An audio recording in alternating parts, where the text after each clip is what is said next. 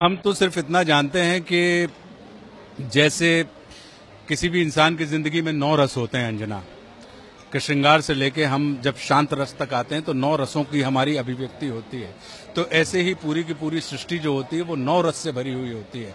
अगर उसमें से किसी एक रस को भी आप कम कर देंगे तो आपका जीवन पूर्ण नहीं होगा। जीवन होगा तो लेकिन वो पूर्णता को प्राप्त नहीं करेगा।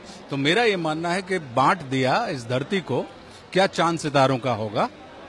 और नदियों के कुछ नाम रखे, बहती धारों का क्या होगा? और शिव की गंगा भी पानी है, आबे जमजम भी पानी है। मुल्ला भी पिए, पंडित भी पिए, पानी का मज़हब क्या होगा? और इन फिरका परस्तों से पूछो, क्या सूरज अलग बनाओगे? एक हवा में सांस है सबकी, क्या हवा भी नहीं चलाओगे?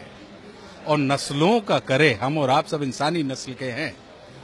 पेड़ पौधों की एक नस्ल होती है पशु पक्षियों की एक नस्ल होती है, वैसे ही इंसानों की भी नस्ल होती है जिसको हम बांट रहे हैं। तो नस्लों का करे जो बंटवारा, रहबर, वो कौम का ढोंगी है।